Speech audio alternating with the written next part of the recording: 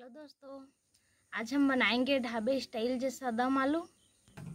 तो देखिए, हमने इतने सारे आलू ले लिया है और इसको अच्छे से धो लिया है। अब इसे छील लेंगे सभी को।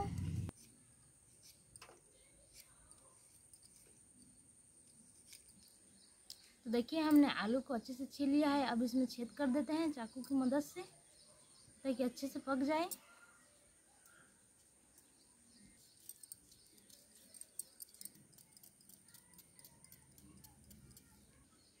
छेद कर लेने के बाद अब इसे फिर से धो लेंगे।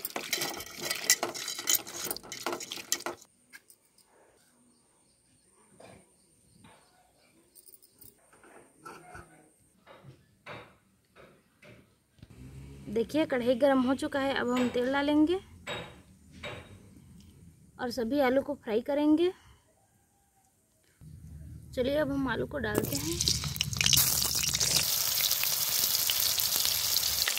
अब हमें सभी आलू को अच्छे से फ्राई कर लेना है।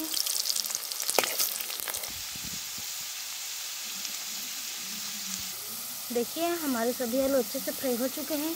देखिए, अब हम इसे निकाल लेंगे।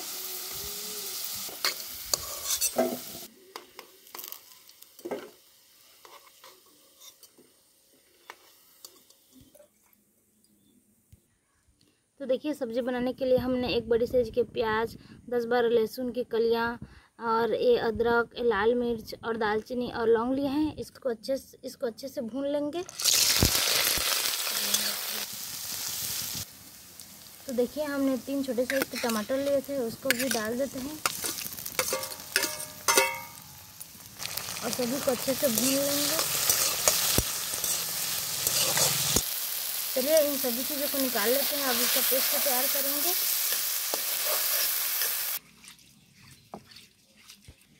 तो चलिए सिल बट्टे पर इनका पेस्ट तैयार कर लेते हैं।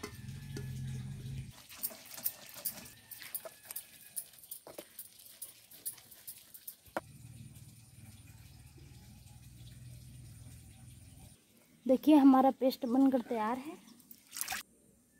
तो चलिए थोड़ा सा और तेल डालते हैं तो सब्ज़ी बनने के लिए हमने दो तेज पत्ता से आठ हरी मिर्च, अब डालते हैं कड़ी पत्ता, अब डालते हैं सरसों। सबको अच्छी तरह से भून लेंगे। तो चलिए, हमने जो पेस्ट तैयार किया था उसको भी डाल देते हैं।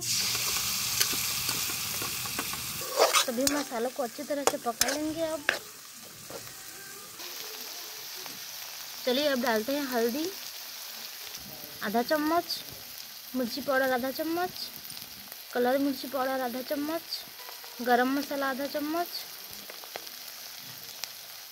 सब्ज़ी मसाला आधा चम्मच, धनिया पाउडर आधा चम्मच, सभी मसालों को अच्छी तरह से मिला लेंगे।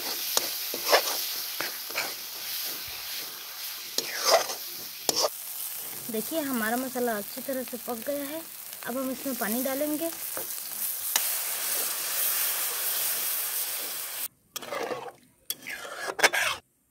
करीबन हमने इसमें आधा गिलास से ऊपर पानी डाला है, बड़े। अब हम आलू को डाल देते हैं।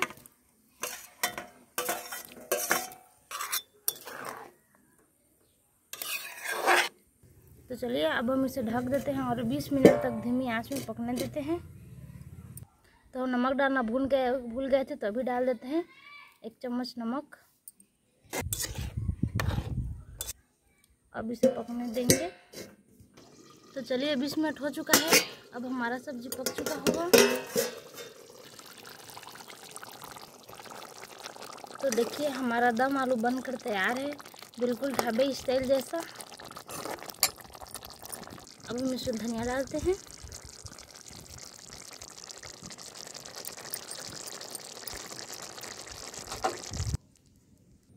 तो देखिए, सब्ज़ी रेडी है। आप इसे चावल या रोटी के साथ खा सकते हैं। और मैं आपको टेस्ट करके बताती हूँ।